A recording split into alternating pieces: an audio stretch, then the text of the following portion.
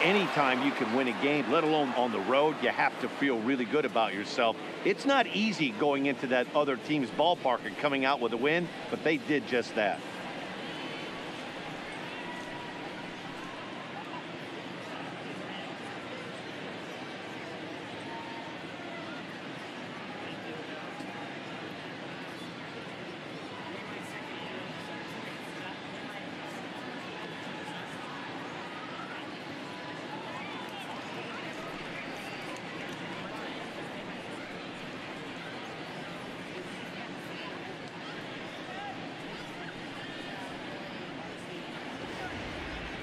One more look at the final line score there to see the great pitching performance that led his guys to the victory.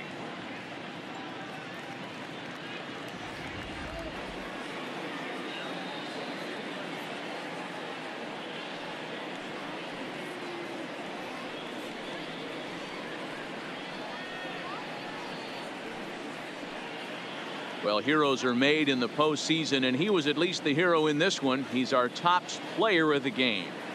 And obviously, every game is so important in the postseason. So when you come to play like he did and make a big difference for your team, it's something that won't be forgotten.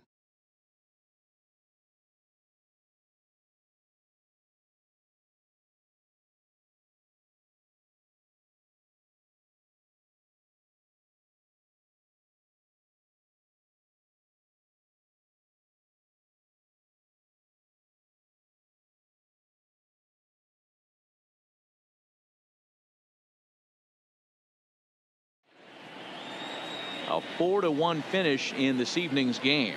The Detroit Tigers jump out to a 1 0 series lead.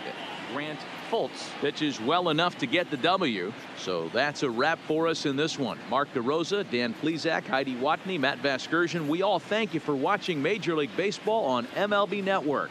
See you next time.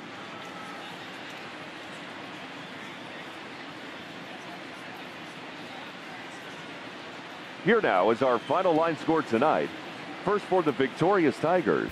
Four runs on eight hits. No errors. They left 12 men on base.